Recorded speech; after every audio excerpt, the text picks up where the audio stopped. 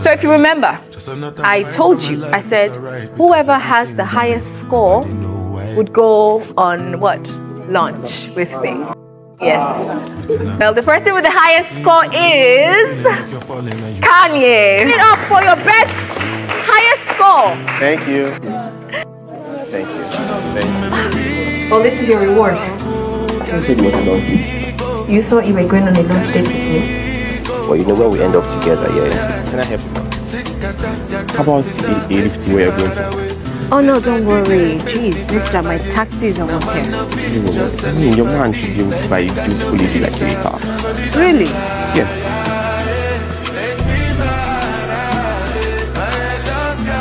I've liked you for so long and you know this. Mr. Diamond, please. Kanye!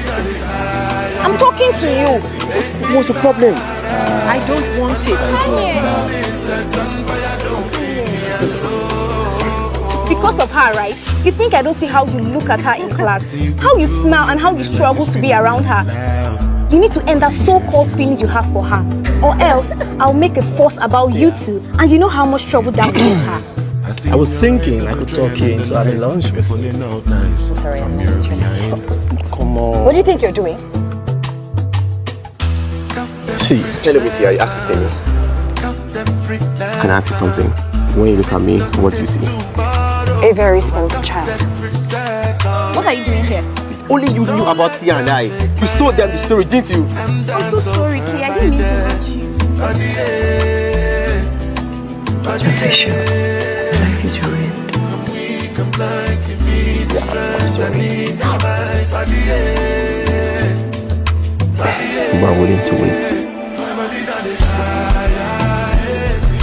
I'm sorry for everything I've put you through. At least let me try and clean the mess I made.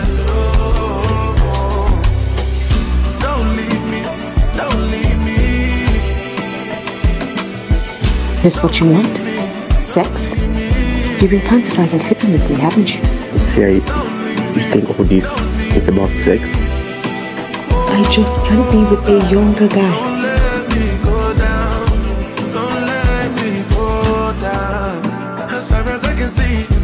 Why are you sending me gifts? You haven't bothered to call me in the past months. And now you send me gifts. I don't care what anyone says. I really don't. I love you like crazy.